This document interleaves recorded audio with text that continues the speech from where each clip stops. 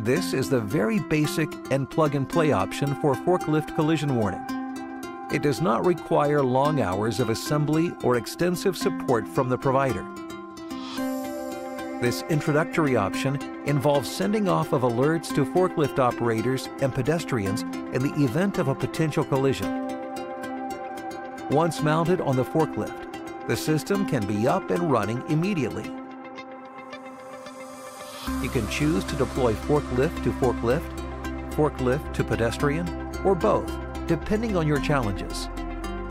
If forklift to pedestrian warning is selected, in addition to the forklift collision warning devices mounted on the forklifts, pedestrians are given tags that buzz to alert to potential forklifts nearby.